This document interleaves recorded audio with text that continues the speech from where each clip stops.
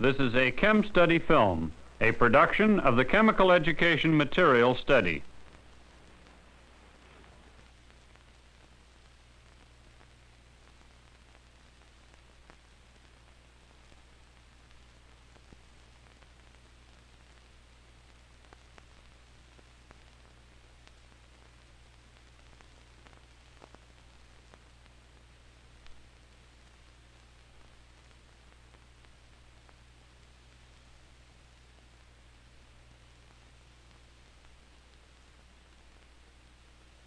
Here is the filament in a tungsten lamp.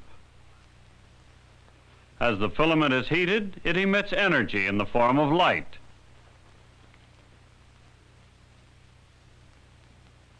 Although the light appears white to our eyes, when we pass the light through a prism, it is separated into a continuous spectrum of colors. This continuous spectrum shows that a tungsten lamp emits photons of all energies. This is a gas discharge tube containing hydrogen. The light emitted by this tube is due to hydrogen atoms. Let's look at the spectrum of this light source. This time we see a line spectrum. Each line corresponds to just one possible energy change in a hydrogen atom we see that very few energy changes occur in hydrogen atoms in contrast to the tungsten filament. Accurate frequency measurements tell us the energy changes and lead us to the hydrogen atom energy level diagram. But how can we explain the fact that the energy of a hydrogen atom has only these certain values? We begin with a simple picture of the hydrogen atom. At any given instant, the electron is separated from the proton by some distance, r.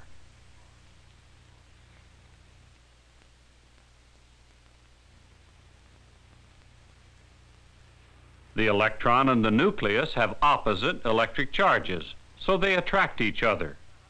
This attraction gives the atom a certain amount of potential energy. The amount depends on the distance r. The electron is in motion, and so the atom also has kinetic energy. The sum of these two kinds of energy is the total electronic energy of the atom. This sum expresses the laws of motion that apply to macroscopic particles. To fit the observed behavior of microscopic particles, like electrons and protons, the laws must be modified somewhat. As modified, these laws are called quantum mechanics. The mathematics of quantum mechanics are quite complex, but we don't need to consider the details of the calculations. Our interest is in the results that quantum mechanics gives. This high-speed computer simplifies the task of carrying out the calculations.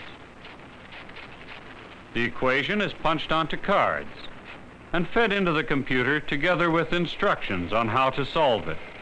The computer then rapidly solves a problem that is tedious if done by hand. When the calculations are completed, the machine types out the energy values. Let's compare these calculated energies with the experimentally determined energies of the hydrogen atom.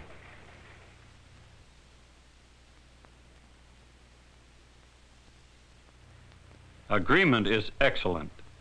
Thus, we see that quantum mechanics provides an explanation for the specific energies observed for the hydrogen atom. Because quantum mechanics also confirms all other properties of the hydrogen atom that can be measured, we believe the results quantum mechanics gives for those properties that are more difficult to measure. One such property is the location of the electron relative to the nucleus. What can we learn from quantum mechanics about this?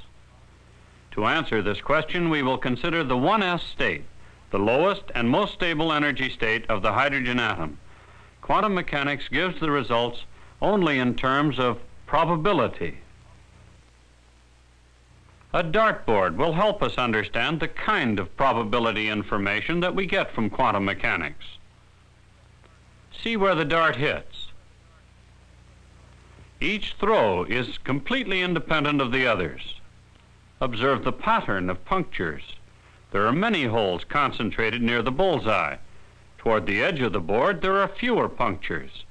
These holes indicate the likelihood that the next throw of the dart will land in a given square centimeter. Where there are many holes, the probability is high. Where there are few holes, the probability is low. These observations allow us to conclude that the probability of the dart landing near the bullseye is much greater than the probability of it landing far away. We shall see that there is a close analogy to the electron distribution in the hydrogen atom. The pattern of holes is centered around the bullseye, just as the electron centers its movement around the nucleus. Compare it to the probability plot for the 1s state of the hydrogen atom as generated by the computer.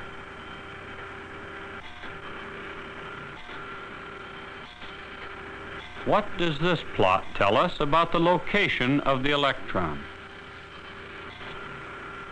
To answer this question, another analogy may be useful, the movements of a hummingbird around his nest. We'll use the hummingbird to represent the electron. His nest represents the nucleus. The nest is located in this small tree in a field of flowers. Let's represent this scene on a chart. Here is his nest in the tree.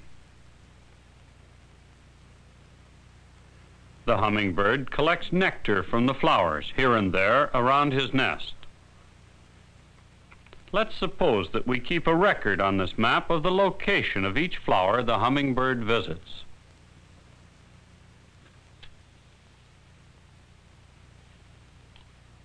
Here's one now. We'll mark the location of this flower on the map. Oh, now he's over here. Oops, there he goes. Let's mark it. Ah, and now a third.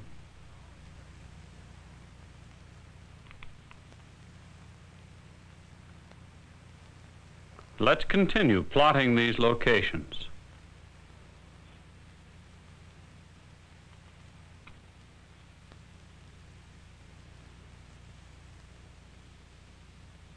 Plotting over a long period of time, a pattern develops.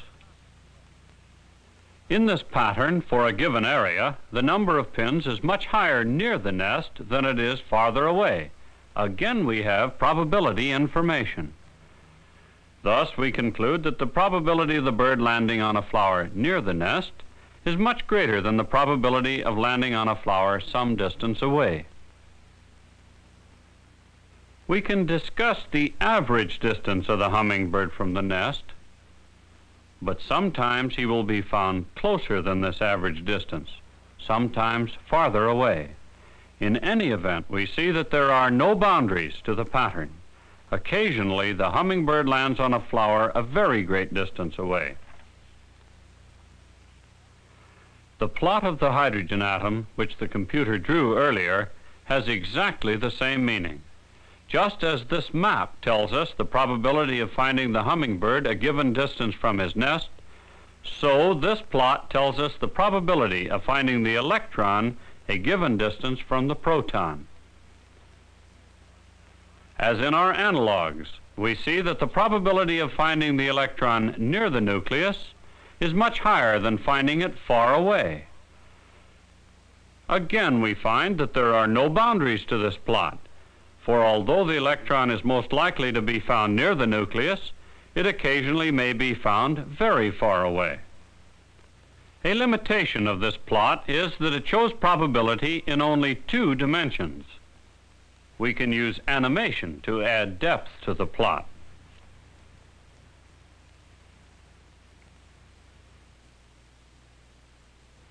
This probability description of electron location is called the 1s orbital of the hydrogen atom.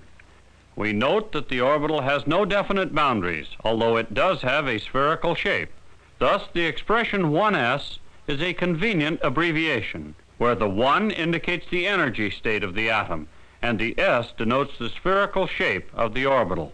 But remember that the orbital represents only the probability of finding the electron at a certain location. If we could observe the electron, at any one instant the electron would be found at some particular location. At another instant, it would be found at some other location.